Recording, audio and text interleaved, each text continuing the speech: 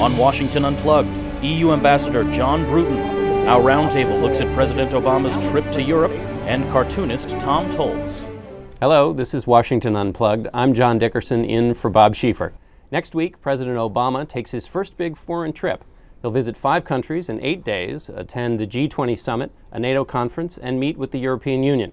He's personally popular, but his policies on global stimulus and, Af- and Afghanistan are being openly resisted. What kind of reception will he get? I'm joined by European Union Ambassador John Bruton, also the Prime, former Prime Minister of Ireland. Welcome. Thanks I want to ask you this morning about Afghanistan. You were at the White House. What did you hear? What's your reaction to the president's new plan? Well, I heard clearly that the target is to ensure that Al Qaeda and terrorism do not prosper in either Afghanistan or in Pakistan, and that the goal is to ensure that that doesn't happen.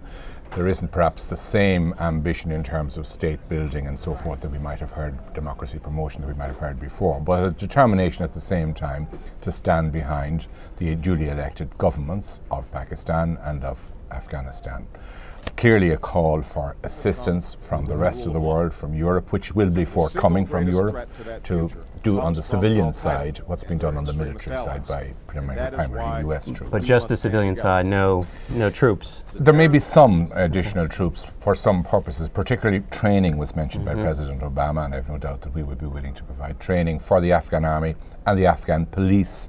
The development of the Afghan police is very, very important the president said uh, in his remarks, the safety of the people around the world is at stake. That's a pretty broad statement. What's your sense of that? Well, he backed that up by pointing out to a number of terrorist atrocities in Asia and in Europe, which are linked back to Al Qaeda, which is based on the Afghan Pakistan border. And clearly, this is a problem for everybody. Uh, there have been differences in the past, as exactly as to exactly which particular means we should use mm-hmm. to deal with it. But there is nobody who will question the president's statement that this terrorist nest represents a problem for the entire world. So this will be well received in Europe? Yes, and he emphasized that the vast majority of the victims of Al Qaeda have been Muslims. Now, next week we have this extraordinary trip. The president is taking a lot on his plate. How will he be received broadly uh, when he comes to Europe? Very well. I think Europeans have agreed themselves that they should, that we should stimulate our economy. And a number of European countries, those that can afford to do so, have already put stimulus plans in place. Mm-hmm. And we support the stimulus that's been given by the United States and by China.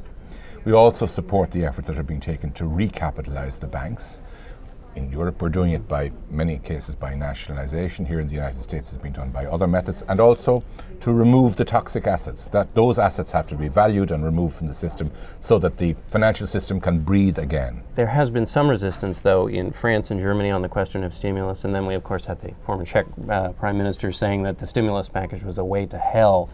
There is, though, some friction on this question of. Well, there are different. I mean, we have a Stability and Growth Pact to govern the euro, which mm-hmm. imposes very strict limitations on mm-hmm. borrowing, uh, which in normal times are absolutely reasonable, but we're not in normal times. Mm-hmm. But people are having to get used to mm-hmm. changing policy very rapidly because the situation is changing very rapidly.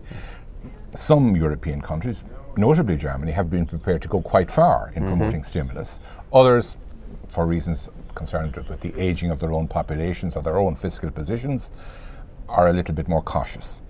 How will uh, we know that this has been a success, this visit? What's plausible here and, and what's the best outcome of this visit? I think we're going to see, coming from this, commitment to better regulation of the financial system, commitment to substantial increases in funds for the IMF. Because if governments are going to take on the debts of banks, mm-hmm. who's going to look after the finances of governments? There has to be somebody to stand behind mm-hmm. governments, and the IMF needs more funds so that if governments get into difficulty, they too can get assistance to be tided over. You were here during the Bush administration. Now you see the new team in town. What are the differences? What have you noticed in the differences? Well, I think there's a willingness to confront unpleasant facts that's notable in this administration. I was particularly heartened, for example, by what Secretary of State Clinton had to say in the last two days about the extent to which consumption of drugs by Americans, and she could have said Europeans as well, is contributing to the problems of law and order in Mexico. Mm-hmm. Uh, and that we must take our responsibility as societies which are consuming illegal drugs